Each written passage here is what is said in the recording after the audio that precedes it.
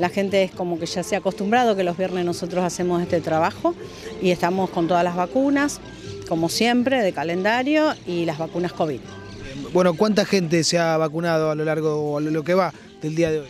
A lo que va del día de hoy, la verdad que ya cuando empezamos a armar había gente y llevábamos más o menos unas 50 personas, entre adultos y niños. ¿Más que nada vacunas COVID?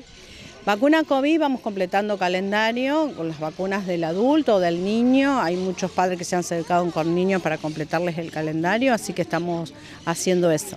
bueno, eh, la importancia de hacer énfasis en el problema de la fiebre hemorrágica que puede ir en escala en caso de no inmunizarse. Sí, eh, la, la información que tenemos, bueno, que estamos teniendo casos eh, en nuestra provincia, en, el sur de la provincia, entonces estamos incentivando mucho el tema de la vacunación de fiebre hemorrágica.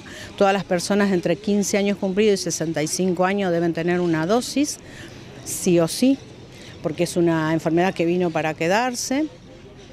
Eh, la única, em, lo único que uno puede estar protegiéndose es con la vacuna, que la vacuna da más del 95% de, cobertura de anticuerpos y eh, las personas que se han enfermado de fiebre hemorrágica es porque no están vacunadas. Eh, nosotros estamos programando hacer una campaña de vacunación, ya les vamos a informar.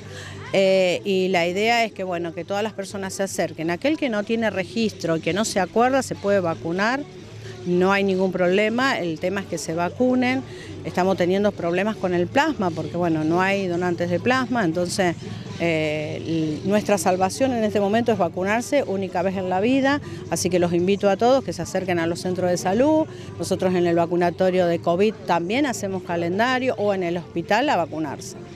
¿En la semana cómo anduvo en el vacunatorio?